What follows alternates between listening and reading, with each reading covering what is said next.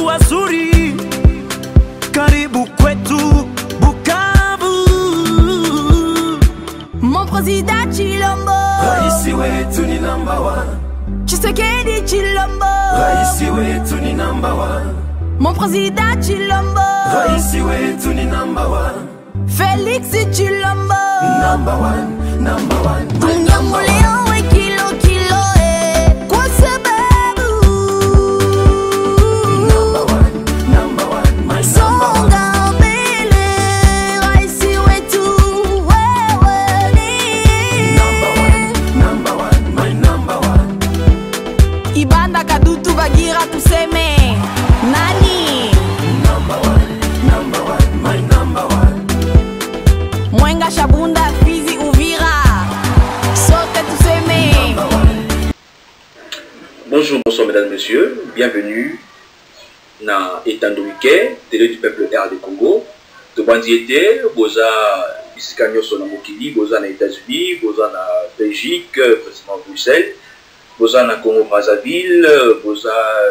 na Kinshasa boza na, na Matadi bozolanda émission na bino oyo esungaka bino koyeba bongo ba information bongo partout dans le monde alors euh, biso nyonso lobi tolandaki actualité actualité oyo eza koprime likolo ya nyonso ezalaki sur nomination ya ya premier ministre oyo esalamaki lobi à partir ya ya 14 heures nabanzi et puis nomination wana ecreye bongo vraiment ba fièvre tumultueuse effervescente na bacamp ya bopposant mpe na bakongomani mosusu ebele balobi ete ke non voilà euh, premier ministre actuel aza bongo fruit ya joseph kabila to mpe mingimingi aza euh, choix porté ya ancien chef de l'état joseph kabila tomoni meme na bareseau sociaux tomoni bato bapublie bafoto na ye na euh, mokonzi ya kala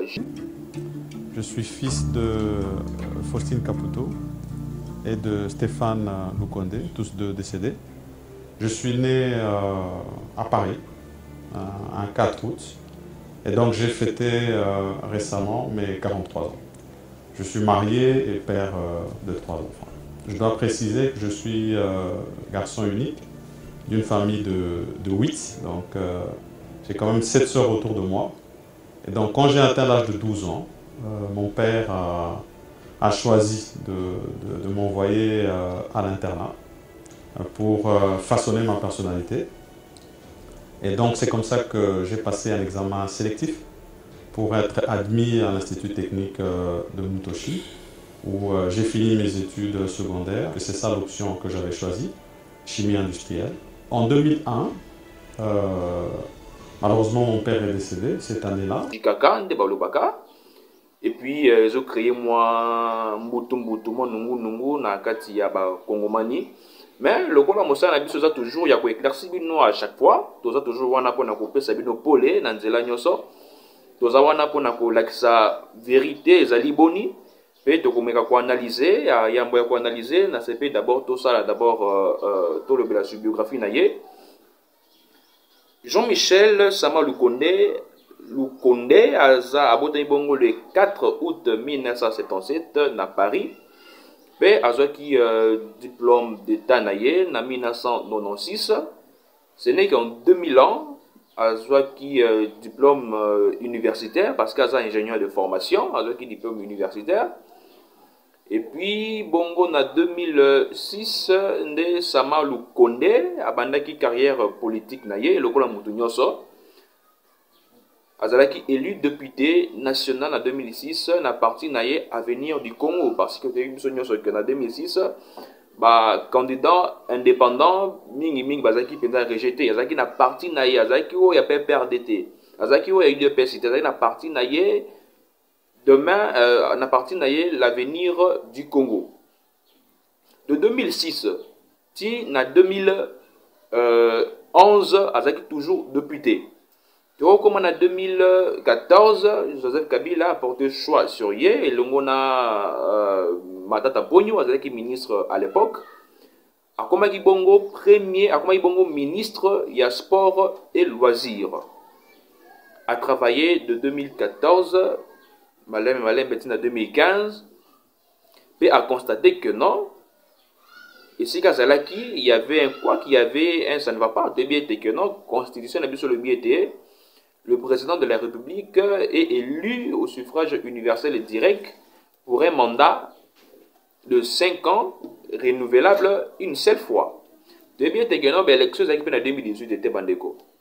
Bellevue ezalaki na 2016 glissement ebimaki biso ti na 2018 mais ye bongo na kati ya, ya majorité présidentielle abandaki déjà kotelemela troisième mandat abandaki déjà koboya que président abrigue troisième mandat aza toujours ministre na kati ya gouvernement ya matata ponyo mpe aya kozwa consigne ya parti na ye adémissionne bandeko nalobaki que non azalaki nommé ministre na 2014 na 2015 na septembre justement asali 9 mois na kati ya gouvernement aye kodemissionne parce que amonaki que non pouvoir à l'époque ekomaki déjà koviole constitution alors ntango aye kolongwa azalaki directement mpe exclu na majorité euh, euh, présidentielle à l'époque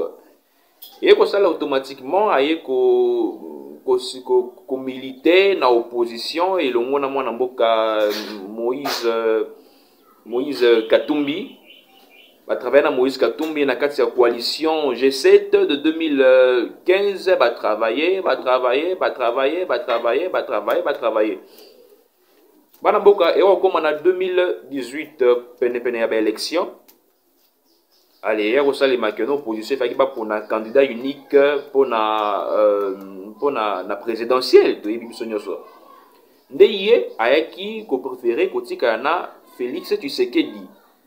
naza claire akabwanaki na moïse katumbi alongwaki na g7 ayaki kotikala bongo na félix tshisekedi wana tokomi na 2018 penepene ya baélection ya 31 décembre 2018 parce que la plupart bazoloba que non voilà aza choix ya joseph kabila misusu bazoloba que non aza euh, moïse katumbi parce que bainformation ben, moko eyetaki kocircule je crois ya 4 jours passé balobaki que non président de la république atindaki euh, françois beya akende kino bongo na kati ya lubumbashi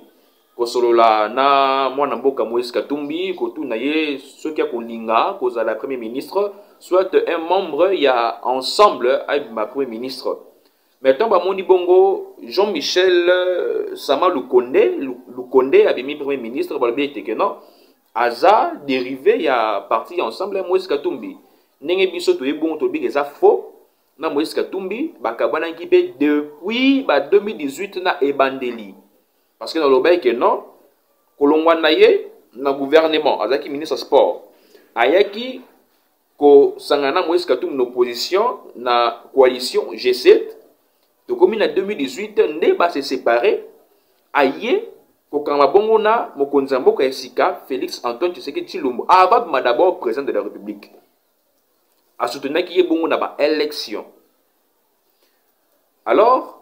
mokonzi ya mboka bimi euh, bon, mokonzi ya mboka te parce qu'à l'époque azalaki d'abord individu félix tshisekedi na 2018 le 31 décembre ya baélection alongi na janvier baproclame ye président de la république akomi kotravaille akomi kotravaille tokomi euh, justement le 3 juin 2019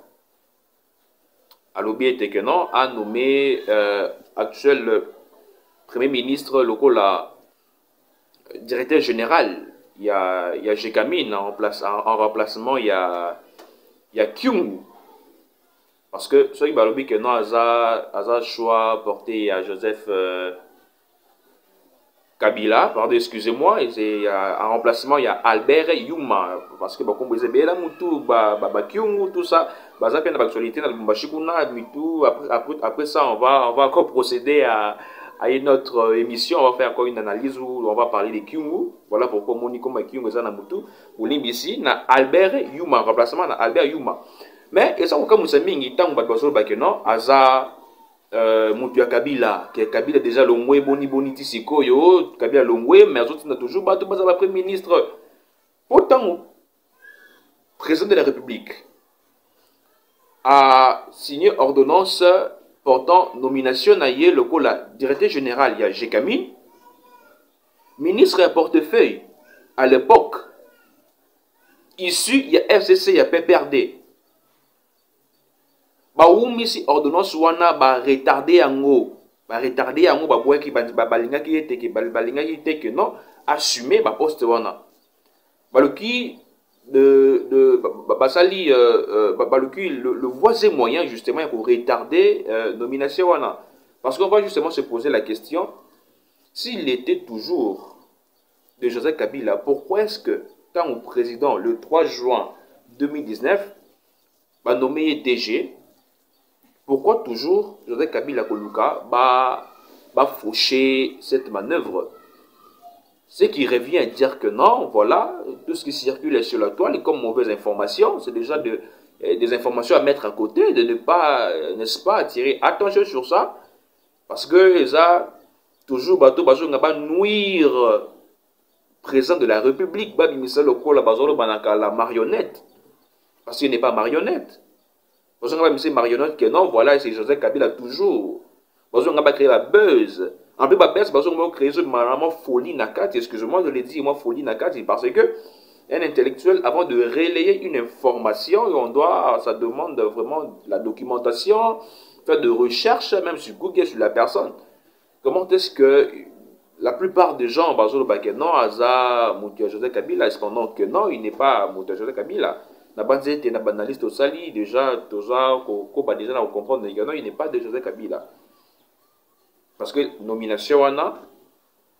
ezalaki ministre ya portefeuille à l'époque nde aralentisaki nomination wana toyo kokoba tokomi kino lelo oyo ministre premier ministre euh, Sylvestre Ilunkamba atambolaki elongo te na mokonzi ya mboka y avait crise entre l'Assemblée euh, nationale, euh, il y avait crise persistante. Alors, il s'est dit que non, Azala déchu par le député pétitionnaire. mpe ayaki kokwea ye sikoyo par après le président de la république ayaki koporte choix na ye sur le fils du pays sama lukonde oyo aza élu premier ministre actuel Alors, c'est par là que je, je, je, je tiens à informer euh, tous les Congomani que Premier ministre Oyo aza justement issu na PPRD te, aza na parti politique na ye Oyo ye azo respecter et puis c'est depuis 2018 que a se séparer, a se désolidariser na mwana mboka Moïse Katumbi mpe toboyi bongo ba, ba soupçon ba oyo tobengaka na journalisme ba intox ba mauvaise information ecircule na mitu ya bana mboka bato oyo tu bazo circule bainformation tozosenga ete ke non botikala bainformation ya mabe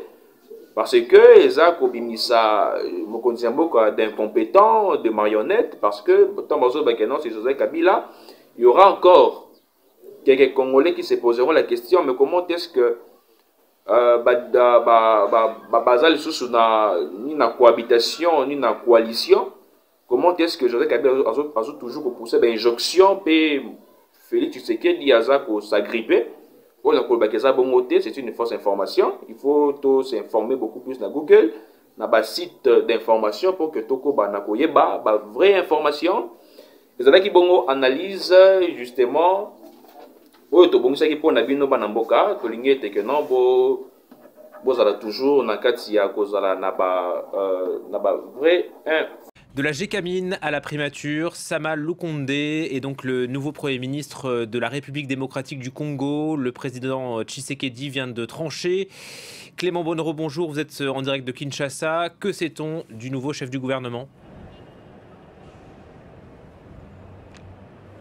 Eh bien, c'est euh, une figure relativement euh, méconnue euh, ici en, République démocratique du Congo. Son nom a circulé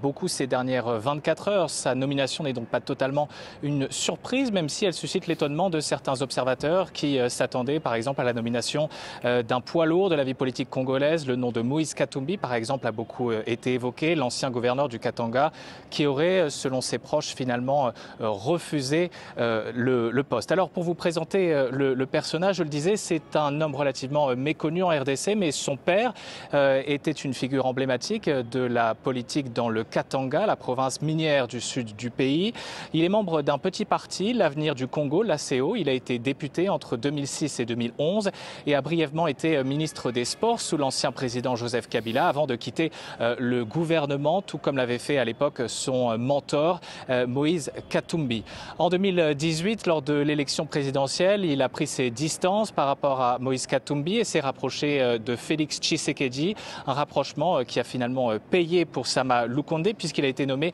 directeur général de la Gkmin, la plus grande entreprise minière du pays en 2019, poste qu'il a occupé jusqu'à ce lundi. En tout cas, cette nomination, Clément, intervient après plusieurs bouleversements dans la scène politique congolaise, avec notamment la perte d'influence de l'ancien président Joseph Kabila. Quelle est la portée politique de cette nomination, justement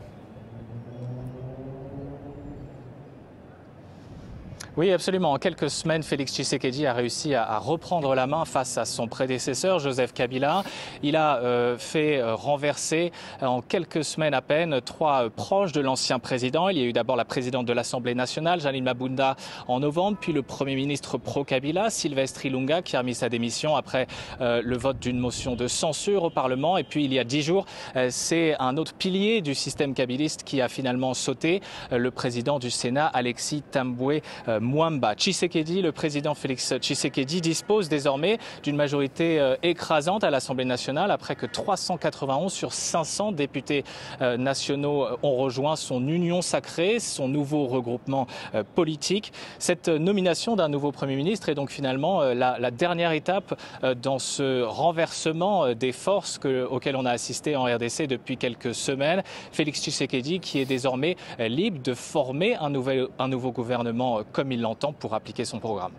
Merci beaucoup Clément Bonneron en direct de Kinshasa. On vous retrouvera sûrement à 21h45 pour le journal de l'Afrique.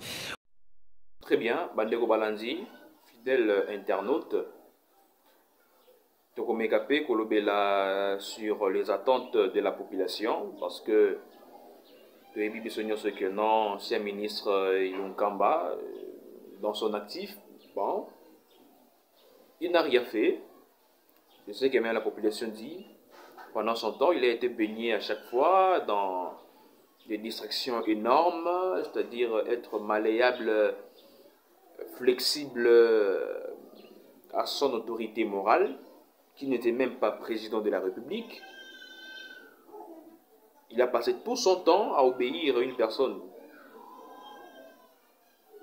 qui n'est même pas président de la République, il est arrivé que Nabilon bilan et c'est négatif. Tout le monde est quelqu'un compétent. C'est quelqu'un d'intelligent, professeur d'université à l'UNUKIN. Ce n'est pas n'importe qui.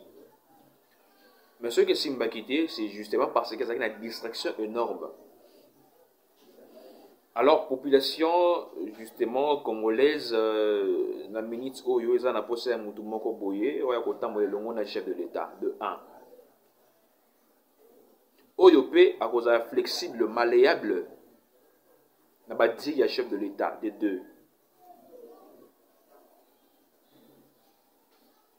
oyo mpe akozala na ba initiative apporter un plus na gouvernement parce que hier tolandaki euh, premier ministre euh, jean michel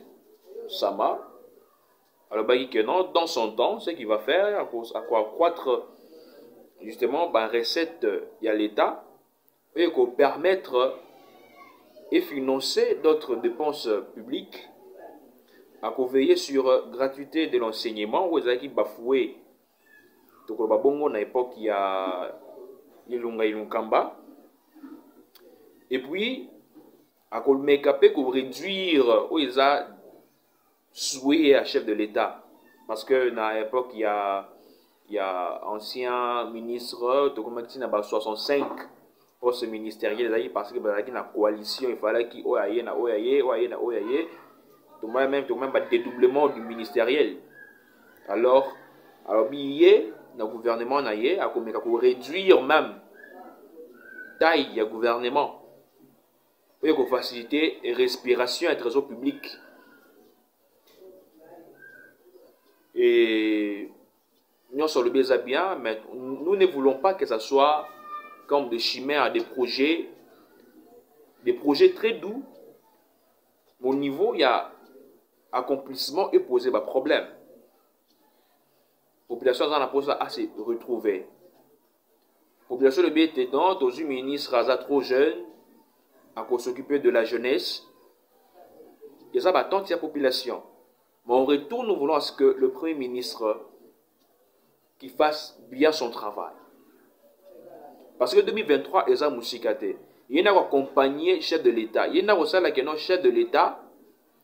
ntina 2023 azala réélu eza ye premier ministre akotambola elongo na chef de l'état na président de la république